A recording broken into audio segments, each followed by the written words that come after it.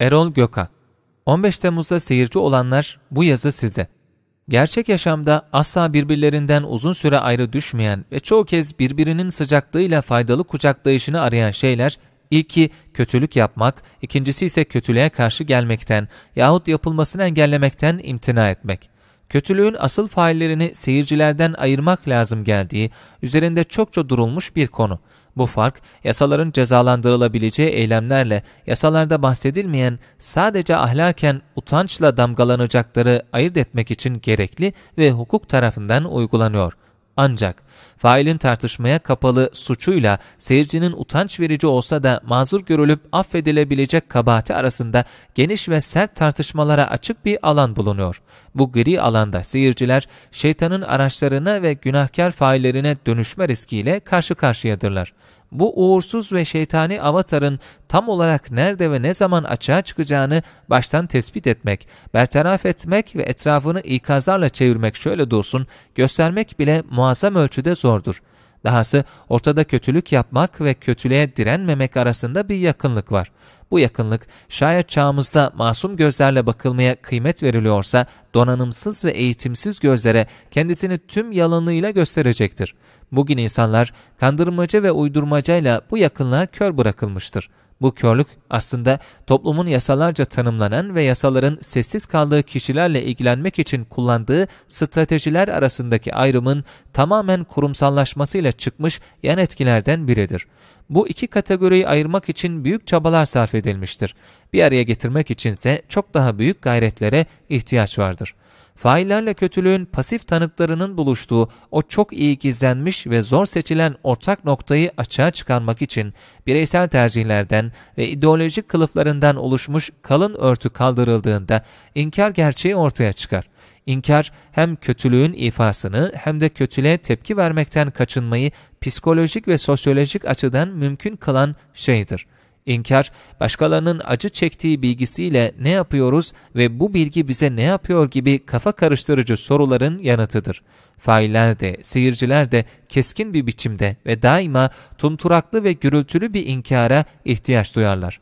Suçun inkar edilmesinin veya masumiyet iddialarının ki aynı şeye tekabül eder, bir dolu biçimi vardır fakat kullanılan argümanlar şaşırtıcı biçimde benzerdir.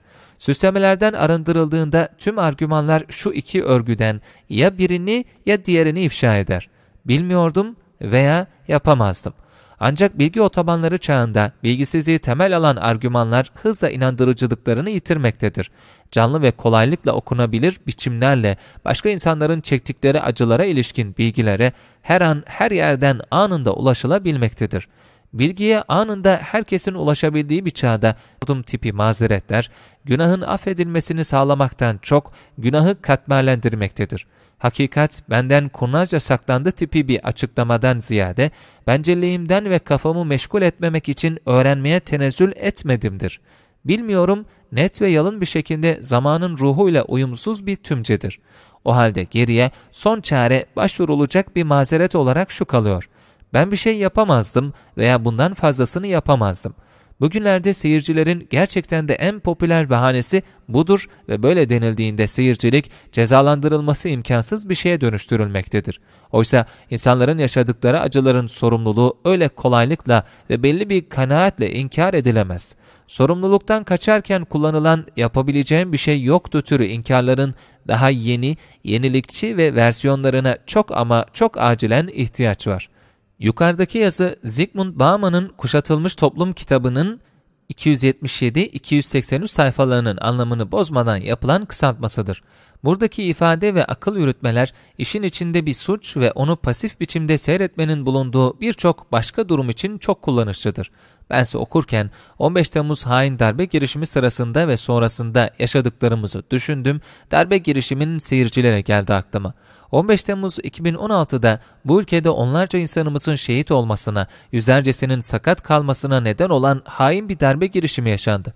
Eğer bu darbe girişimi şehit ve gazilerimiz sayesinde önlenemeseydi, ülkemizde bir işgal girişiminin, gözün gözü görmediği bir kaos halinin vuku bulacağını aklı başında herkes kabul ediyor.